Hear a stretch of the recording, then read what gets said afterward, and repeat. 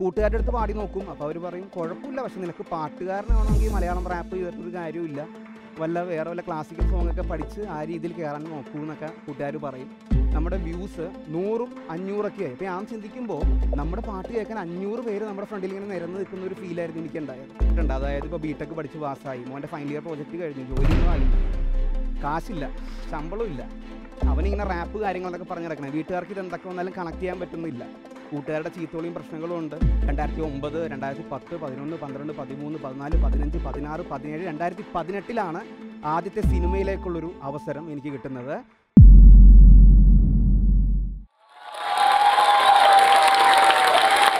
എല്ലാവർക്കും നമസ്കാരം. എന്റെ പേര് ഫെജോ എന്നാണ്. മലയാളം റാപ്പ് ഹിപ്പ് ഹോപ്പ് ജേണറിനെ ഉയർത്തിക്കൊണ്ടുവരാൻ ശ്രമിക്കുന്ന അതിൽ എക്സ്പെരിമെന്റ് ചെയ്യുന്ന ഒരു വ്യക്തിയാണ്. എല്ലാവരും സോങ്സൊക്കെ പാട്ടുകളൊക്കെ കേൾക്കുന്ന ആളുകളായിരിക്കും. മലയാളം കേൾക്കും തമിഴ് കേൾക്കും ഇംഗ്ലീഷ് കേൾക്കും ഹിന്ദി കേൾക്കും. ഇംഗ്ലീഷ് സോങ്സ് കേൾക്കുന്നവർ വെസ്റ്റേൺ മ്യൂസിക്കിനോട് ഇൻട്രസ്റ്റ് ഉള്ളവർക്ക് അറിയാവുന്ന ഒരു ജേണറാണ് ഹിപ്പ് ഹോപ്പ് റാപ്പ്. നിങ്ങൾക്ക് ഒരുപാട് റാപ്പേഴ്സിനെ അറിയാം. ഇംഗ്ലീഷ് റാപ്പേഴ്സ് പറയുകയാണെങ്കിൽ നമുക്ക് Eminem Lil Wayne Tupac Biggie Smalls Hindi റാപ്പേഴ്സിനെ നിങ്ങൾക്കറിയാം. യോയോ ഹണി സിംഗ് ബാദ്ഷാ റഫ്താർ ഡിവൈൻ. നമ്മുടെ അയൽ സംസ്ഥാനമായ തമിഴ്നാട്ടിലെ റാപ്പേഴ്സിനെ നിങ്ങൾക്കറിയാമായിരിക്കും.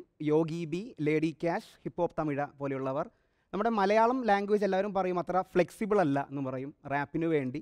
ആ മലയാളം ലാംഗ്വേജ് നമ്മുടെ മാതൃഭാഷ ഉപയോഗിച്ച് എങ്ങനെ റാപ്പ് ചെയ്യാം എന്ന് പറഞ്ഞ് ഉള്ള ശ്രമങ്ങൾ നടത്തുന്നൊരു വ്യക്തിയാണ്. എല്ലാവരും പോലെ തന്നെ ചെറിയൊരു സിനിമാ മോഹവും കാര്യങ്ങളൊക്കെ ഉണ്ടായിരുന്നു. ചെറുപ്പത്തിൽ മുതലേ സിനിമയോടും സംഗീതത്തോടും ചെറിയൊരു ഇൻട്രസ്റ്റ് ഉണ്ടായിരുന്നു. എഴുത്ത് പരിപാടികളുണ്ടായിരുന്നു നമ്മുടെ അനിയനാണ് രണ്ടായിരത്തി ഏഴിൽ നമ്മുടെ അനിയനാണ് ഇംഗ്ലീഷ് പാട്ടുകൾ ഞാൻ ആദ്യം മലയാളം പാട്ടുകൾ മാത്രമായിരുന്നു കേട്ടുകൊണ്ടിരുന്നത്. വെച്ചത്. ഇംഗ്ലീഷ് പാട്ടുകൾ നീ കേട്ട് പോകടാന്ന് പറഞ്ഞിട്ടൊരു സി ഡി കൊണ്ടുവന്നത് നമ്മുടെ സ്വന്തം അനിയനാണ്. അപ്പോൾ ഞാൻ നമ്മുടെ വീട്ടിലെ ഡി വി ഡി പ്ലെയറിൽ സംഭവം കേട്ടു. അപ്പോൾ കുറേ ഇംഗ്ലീഷ് പാട്ടുകൾ കേട്ടു. എനിക്ക് കാര്യമായിട്ടൊന്നും ഇഷ്ടമായില്ല. എന്നാലും ഏക്കൺ എന്ന വ്യക്തിയുടെ സ്മാക്ക് ദാറ്റ് എന്ന് പറഞ്ഞിട്ടൊരു സോങ്ങാണ് നമ്മൾ ഭയങ്കരമായിട്ട് ആകർഷിച്ചത്. അപ്പോൾ അതിന്റെ ഇടയിൽ എമിനം എന്ന് പറഞ്ഞിട്ടൊരു പുള്ളി. എമിനം വണ്ണം വന്നിട്ട് ലുക്സ് ലൈക്ക് അതിനകത്ത് ക്ലബ് ബാങ്കോ എന്നൊക്കെ പറഞ്ഞിട്ടൊരു സംഭവമുണ്ട് അപ്പോൾ അത് കേട്ടപ്പോൾ ഈ പുള്ളി ഇത് എന്താ പറയണേ എന്നുള്ളൊരു ചിന്ത എനിക്ക് തോന്നി. അപ്പോൾ എനിക്ക് അനിയൻ പറഞ്ഞത് റാപ്പ് എന്ന് പറഞ്ഞിട്ടൊരു സംഗതിയാണ്. അപ്പോൾ ഞാൻ ചിന്തിച്ചപ്പോൾ എനിക്ക് മനസ്സിലായി. ഏക്കൻ എന്ന് പറഞ്ഞ വ്യക്തി അദ്ദേഹത്തിന്റെ ടൈം ലിമിറ്റിനുള്ളിൽ പറയുന്നതിന്റെ പത്തിരട്ടി കണ്ടൻസ് എമിനം ആ പാട്ടിൽ പറയുന്നുണ്ട്. അപ്പോൾ എനിക്ക് നോക്കി എന്തുകൊണ്ട് നമുക്കിത് മലയാളത്തിൽ ചെയ്തുകൂടാ എന്നുള്ള ചിന്തയായി. അതുപോലെ തന്നെ ആ പാട്ടിൽ എമിനം പറയുന്നത് എനിക്കോ നിനക്കോ എന്നൊക്കെ പറഞ്ഞൊരു വേഴ്സ് കേട്ടപ്പോൾ എനിക്കത് തോന്നിയത് എനിക്ക് നിനക്ക് നിനക്ക് എനിക്ക് എന്നൊക്കെ പറഞ്ഞിട്ട് പുള്ളി മലയാളം പാടുന്ന പോലെ തോന്നിയത്. അപ്പോൾ ഞാൻ ജസ്റ്റ് അതെങ്ങനെ മലയാളത്തിൽ എഴുതി എങ്ങനെ ഉണ്ടാവും എന്ന് വിചാരിച്ചിട്ട് ജസ്റ്റ് മലയാളത്തിൽ എഴുതി നോക്കി. എമിനത്തിന്റെ കൂടുതൽ പാട്ടുകൾ കേൾക്കാൻ ശ്രമിച്ചു തുടങ്ങി കൂട്ടുകാരുടെ അടുത്തെത്തി. അന്ന് കമ്പ്യൂട്ടറൊന്നുമില്ല ഈ സി ഡി എങ്ങനെയെങ്കിലും പത്ത് രൂപക്ക് നമ്മുടെ സി ഡി മേടിക്കുന്നു കൂട്ടുകാരുടെ വീട്ടിലെത്തുന്നു റൈറ്റ് ചെയ്യുന്നു വീട്ടിലെ ഡി വി ഡി പ്ലെയറിലിട്ട് കേൾക്കുന്നു. ഹിപ്പ് ഹോപ്പ് സോങ്സ് ശരിക്കും പറഞ്ഞാൽ ഞാനൊരു ആഹാരമാക്കി എന്ന് തന്നെ വേണമെങ്കിൽ പറയാം. അപ്പോൾ ഇങ്ങനെ ഓരോ സോങ്സുകൾ നമ്മൾ കേട്ടു തുടങ്ങി. അങ്ങനെ ലിൽവെയിന്റെ ലോലി ലോലിപോപ്പ് എന്ന് പറഞ്ഞ സോങ് എനിക്ക് ഭയങ്കരമായിട്ട് ഇഷ്ടമായി. അതിൽ ഒരു പാരഡി പോലെ ഞാൻ ചമ്മിപ്പോയി എന്ന് പറഞ്ഞൊരു സോങ് എഴുതി. അതിങ്ങനെയാണ് തല്ലിപ്പൊള്ളി പെണ്ണിന്റെ ചന്തം കണ്ട് പുറകെ പോയി. അവൾ എന്നെ നോക്കി ചിരിച്ചപ്പോൾ വീണു പോയി പിന്നെ അടുത്തു വന്നിരുന്നപ്പോൾ ഞെട്ടിപ്പോയി. ആൻഡ് ഐ ഹേറ്റ് യു പറഞ്ഞപ്പോൾ ചമ്മിപ്പോയി എന്നൊക്കെ പറഞ്ഞിട്ടൊരു സോങ് അപ്പോൾ എനിക്കിത് ആൾക്കാരുടെ അടുത്തേക്ക് എത്തിക്കണമെന്നൊരു വലിയ ആഗ്രഹമായിരുന്നു. നമ്മൾ അനിയനെ കേൾപ്പിക്കും പാട്ട് അവൻ കുഴപ്പമില്ല എന്ന് പറയും. കൂട്ടുകാരുടെ അടുത്ത് പാടി നോക്കും. അപ്പോൾ അവർ പറയും കുഴപ്പമില്ല പക്ഷെ നിനക്ക് പാട്ടുകാരനാണെങ്കിൽ മലയാളം റാപ്പ് ചെയ്തിട്ടൊരു കാര്യമില്ല വല്ല വേറെ വല്ല ക്ലാസിക്കൽ സോങ് ഒക്കെ പഠിച്ച് ആ രീതിയിൽ കയറാൻ നോക്കൂ എന്നൊക്കെ കൂട്ടുകാർ പറയും. അപ്പോൾ എനിക്ക് മനസ്സിലായി മലയാളം റാപ്പ് എന്താണെന്നുള്ളത് മലയാളി ഓഡിയൻസിനെ ആദ്യം ടീച്ച് ചെയ്യണം. എന്നിട്ട് മാത്രമേ നമുക്ക് അവരിലേക്ക് റീച്ച് ചെയ്യാൻ പറ്റൂ. അപ്പോൾ ഞാൻ ഈ ടീച്ചിങ്ങിനുള്ള ശ്രമമായിട്ട് ആദ്യം ഞാൻ തന്നെ എന്താണെന്നുള്ള ഈ റാപ്പ് എന്നുള്ളത് സ്വയം പഠിച്ചു തുടങ്ങി. ഇതുപോലെ കുറേ സോങ്സ് ചെയ്തിട്ട് തുടങ്ങി. അപ്പോൾ നമുക്ക് ഈ നോക്കിയയുടെ വി ജി എ ക്യാമറയ്ക്കുള്ള ഫോണിൽ നമുക്ക് ഒരു മിനിറ്റ് സൗണ്ട് റെക്കോർഡ് ചെയ്യാം. അപ്പോൾ ഞാൻ തന്നെ അതിനകത്ത് വോയിസ് റെക്കോർഡർ ഓൺ ചെയ്യും. ഒരു ബീറ്റ് അതിനകത്ത് സെറ്റ് ചെയ്യും. കൂട്ടുകാരന്റെ ഒരു ഫോൺ വാങ്ങും. ആ ബീറ്റ് പ്ലേ ചെയ്തിട്ട് അതിന്റെ പൊക്കത്തോട്ട് റാപ്പേഴ്സ് എങ്ങനെ പാടാൻ പറ്റും എന്നുള്ള ചിന്ത തുടങ്ങിയത്. നൂറിൽ നൂറ് മാർക്ക് വാങ്ങിയതൊക്കെ പണ്ട്. കഷ്ടിച്ചു പാസ്സായി സർട്ടിഫിക്കറ്റ്സ് ഉണ്ട് രണ്ട്. തോന്നിയാസം കാണിക്കാൻ എനിക്കു കിട്ടി തണ്ട്. അധികാരം പന്താടുന്നു ഇന്ന് എന്റെ ക്ലോസ് ഫ്രണ്ട് എന്നൊക്കെ പറഞ്ഞുകൊണ്ട് ഓരോ ലിറിക്സ് സെറ്റാക്കി തുടങ്ങി.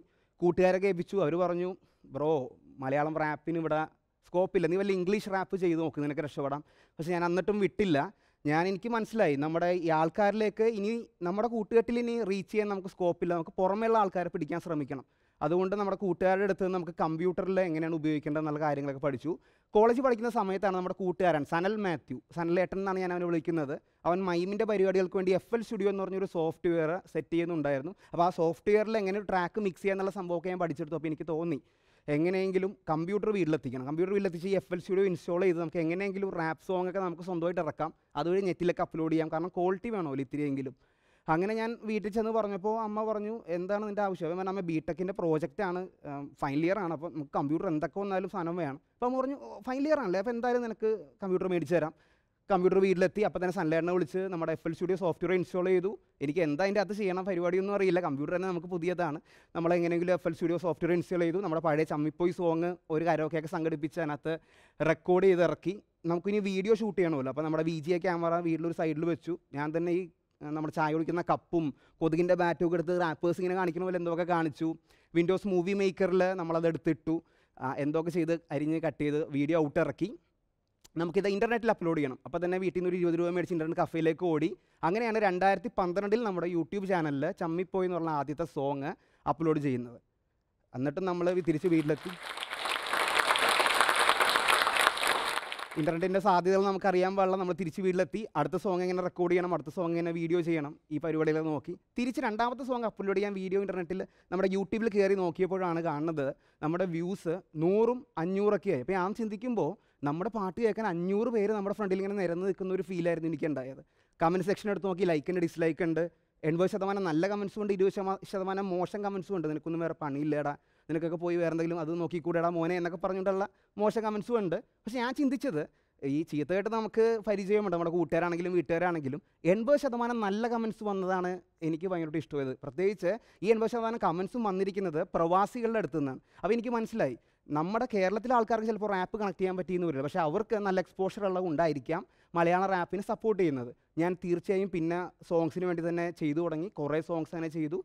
കൃത്യമായ ഇടവേളകളിൽ യൂട്യൂബിൽ ഇങ്ങനെ ഇട്ടിട്ട് തുടങ്ങി. രണ്ടായിരത്തി ഒമ്പത് രണ്ടായിരത്തി പത്ത് പതിനൊന്ന് പന്ത്രണ്ട് പതിമൂന്ന് പതിനാല് പതിനഞ്ച് പതിനാറ് പതിനേഴ് രണ്ടായിരത്തി പതിനെട്ടിലാണ് ആദ്യത്തെ സിനിമയിലേക്കുള്ളൊരു അവസരം എനിക്ക് കിട്ടുന്നത്.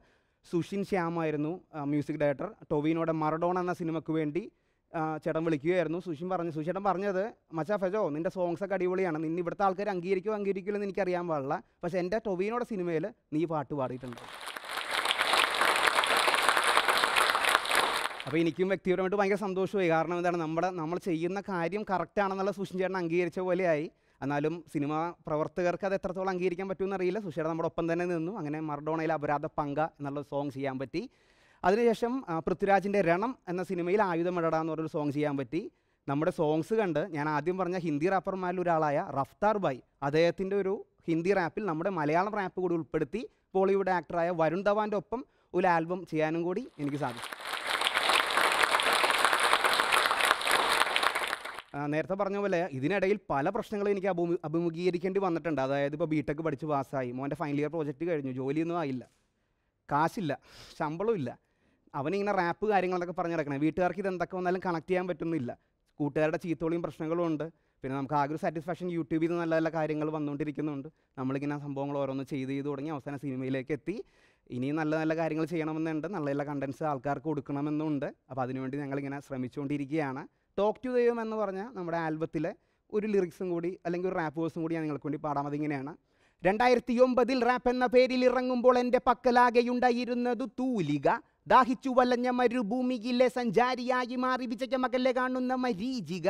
ഞാൻ അധ്വാനിക്കുന്നു suffering starvation Malayalam rap getting more and more recognition work hard grind hard hard, ഹസ go you game me life time strength energy to my muscle go you choose me പ്രതീക്ഷിക്കുന്നു in our lose me the beat was grew in our rap photo Vinos movie വെട്ടി വിയർത്തു വീട്ടുകാരുടെ തെറിയും കേട്ടു എന്റെ കുടുസു മുറിയിൽ ഇറിച്ചെരുതി go dam ഇവിടെ ഞാനോ നീയോ വേർതിരിവില്ല ഒളി നാം. ഡെഡിക്കേഷൻ വേറെ ലെവലിലെത്തും വരെ കെപ് കാം കമ്പ്യൂട്ടർ മുന്നിൽ ചാറ്റ് മൈക്കിൽ പാടി എന്റെ jam can you feel me Fejo walking now with maestro Sushin Shyam നമുക്ക് ഒരുപാട് തടസ്സങ്ങളും പ്രശ്നങ്ങളും ഉണ്ടാവും. നമ്മൾ ചെയ്യുന്നത് ശരിയാണെന്നുള്ള തോന്നൽ നമുക്ക് തന്നെ ഉണ്ടാവും. വീട്ടുകാർ നാട്ടുകാർ നമ്മൾ സപ്പോർട്ട് ചെയ്യില്ല.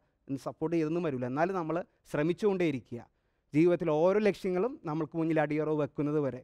നമ്മൾ നടക്കുമ്പോൾ ചിലപ്പോൾ തട്ടി വീഴാം. എന്നാലും നമ്മൾ എഴുന്നേൽക്കുക. ലക്ഷ്യത്തിനടുത്തോട്ട് ഓടുക. നമുക്ക് പോകാനുണ്ട് ദൂരമേറെ. Let's go this is Mallu rapper Fejo thank you Tell us what you think about this video and don't forget to like, share and subscribe.